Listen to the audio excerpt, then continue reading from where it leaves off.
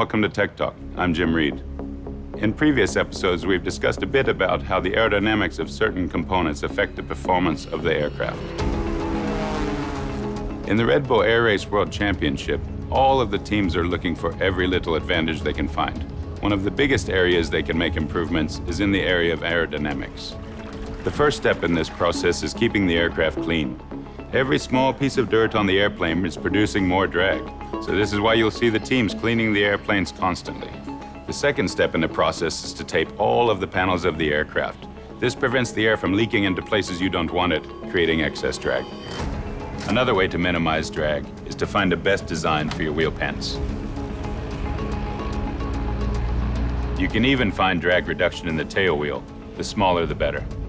Another part the teams work on is the canopy. Not a single team uses a stock-size canopy in the Red Bull Air Race World Championship. They're all working to make them as narrow and as low as possible.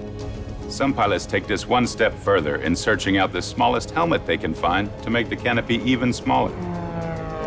Making the canopy smaller, of course, affects the design of the turtle deck, which is a term we use to describe this panel that covers the aft of the fuselage.